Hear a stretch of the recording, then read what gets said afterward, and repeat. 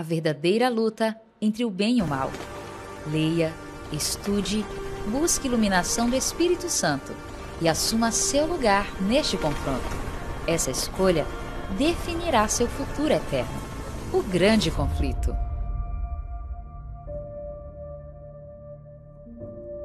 Grande conflito, capítulo 16, América. Embora a igreja anglicana tenha se convertido ao cristianismo, mas ainda aderiu muitas tradições da igreja de Roma. Ali, a igreja anglicana, ela com suas práticas de, de tradições, começaram a rejeitar os princípios da Bíblia. Com isso, os puritanos tiveram que se separar da igreja anglicana. Em busca de sua liberdade religiosa, eles enfrentaram dificuldades, problemas, rejeição, eh, perseguições, até mesmo exílio e morte. Por isso, mais na frente, eles perseveraram e continuaram em busca de sua liberdade de consciência religiosa. No entanto, eles passaram por grandes dificuldades, tiveram que abandonar seu lar, tiveram que ganhar as florestas, mas mesmo assim eles não desistiram de sua liberdade religiosa.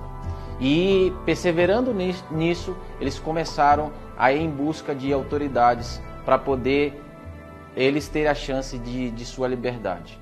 E ali na América eles foram em busca de sua consciência religiosa e aderir aos princípios da Bíblia. Muitos ali que faziam parte do governo fizeram a liberação e viram com que as pessoas poderiam exercer suas práticas religiosas. E essa liberdade causou um impacto grande na Europa e muitas pessoas voltaram para a Europa para tentarem ali é, exercer os seus trabalhos e também a sua consciência religiosa. Portanto, pessoas não convertidas deixaram de, de estudar os princípios e seguir os princípios da Bíblia, acabaram aderindo aos princípios de Roma e à idolatria.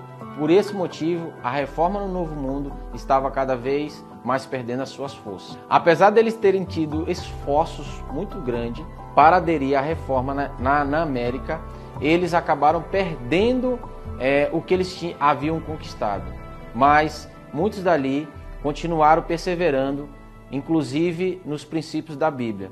E ali Jesus, mais uma vez, através do, de muitas pessoas que aderiram, como os puritanos, aos princípios da Bíblia, Jesus mais uma vez vence no grande conflito.